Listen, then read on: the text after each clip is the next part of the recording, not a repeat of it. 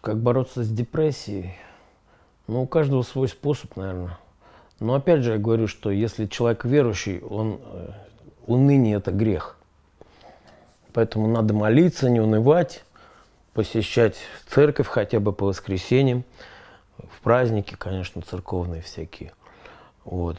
Не в коем случае не ходить ко всяким экстрасенсам, гадалкам, магам, там даже белым магам или как их там называют. Вот. И не уподобляться вот этим вот всем э, суевериям. Ни, ни в коем случае там ложка упала, э, кошка дорогу перебежала там и так далее.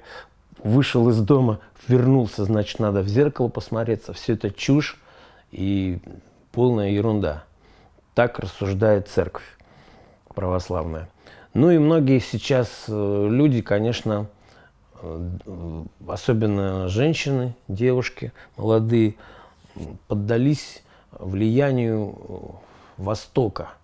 То есть э, это что означает? Это буддизм, всякий там индуизм, кришнаитство, шиваитство, Шива, Кришна, Будда и так далее. И вот они даже все делают наколки, татуировки в виде каких-то там Будды, лотосов там, или знаков каких-то там, э, инь-янь там и так далее. Вот все эти вот э, вещи носят какие-то амулеты. Ну вот это все от, от беса происходит, от неверия.